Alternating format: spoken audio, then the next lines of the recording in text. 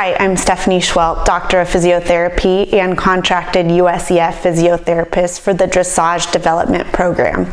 When I worked in the clinic, I used to get a lot of questions about sleeping habits, and I still do as a clinician working on equestrians. And I actually have been kind of correlating certain riding positions to how people sleep. So I wanted to give a couple tips on sleeping patterns um, and hopefully you guys enjoy this. So I will give recommendations. Now, I am not one to change how you're sleeping by any means. My main goal for this is to support whatever sleeping habit you're in. Now, I'm not going to address all the issues. This is just one video. If you have questions about a certain sleeping pattern, please feel free to message me on here or if you're on social media, message me there. So let's talk about pillow thickness for if you sleep on your back. My recommendation is not too thick. So if you have a very thick pillow or stack pillows, a lot of people stack their pillows like this. I'm gonna make it kind of extreme.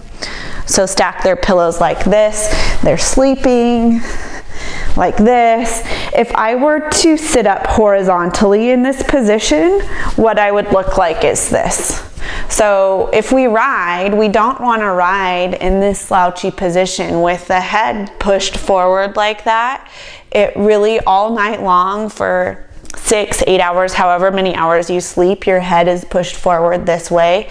It's a long time to be in that position. Now I understand if you have a breathing issue at night, and you have to sleep that way or you do have difficulty breathing at night and you feel like you have to put your head up like that, that's definitely a condition you should go see your doctor for. I'm specifically just talking about ergonomics and positioning and my recommendations for that. So I do recommend that you use a relatively thin pillow that's supportive. Now for the pillow, it should be soft enough that you can kind of mold it. This is my personal preference. Now again, if the pillow is too thick and too firm, it's going to hold your head in this position here.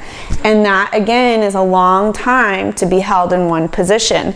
So my recommendation is a pillow that's relatively soft, but not too soft, but you wanna be able to mold it. I like kind of bunching mine together just a little bit under my neck if I'm sleeping on my back and then my head can be here so that I can be in as neutral of a position as possible so my spine is aligned with itself.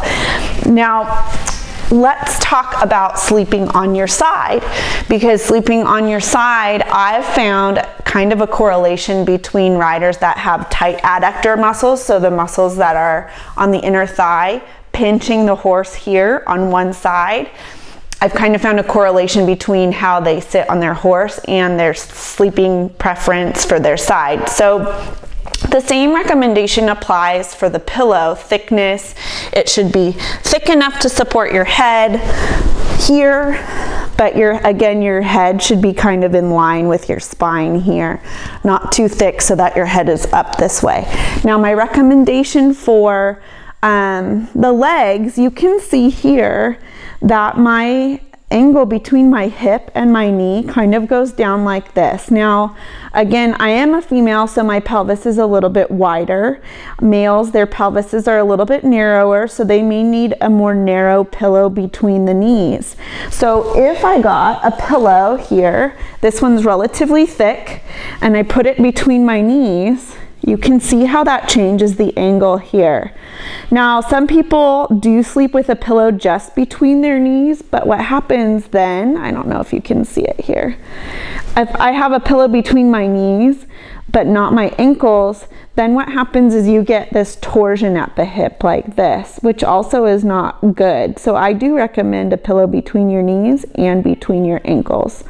The other thing that people will tell me is that they have shoulder pain or they can't sleep. They prefer to sleep on their side, but they can't because their chest hurts or their shoulder hurts. And I do recommend, if that's the case, to hold a pillow here gently not hugging it like this because again that collapses your chest but just holding it here and resting this arm here. Because what happens with if you hold a pillow it brings your chest a little bit more open and then it doesn't close it off all night. So again, when we ride, it's important that our chest doesn't collapse this way. If you're sleeping all night with your chest collapsed that way, it's allowing and making it easier for your body to go in this position. I hope you enjoyed this video. Don't forget to subscribe to my channel and share my videos. I hope you all are staying healthy and well. Don't forget to get some really good sleep. Thanks.